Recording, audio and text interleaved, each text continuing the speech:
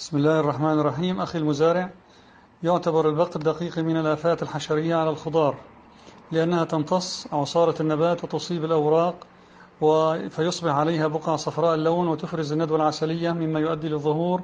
فطر العفن الأسود الذي يقلل عملية البناء الضوئي كما تنقل بعض الأمراض الفيروسية وتسبب ضعف النمو والتفاف الأوراق وذبولها وتساقطها. للوقاية والمكافحة اتباع الدورة الزراعية واختيار بذور وشتلات سليمة وعدم الإفراط في الري وإزالة الحشائش الضارة واستخدام الأعداء الحيوية لافتراسها ورش المبيد الموصى به عند الإصابة الشديدة.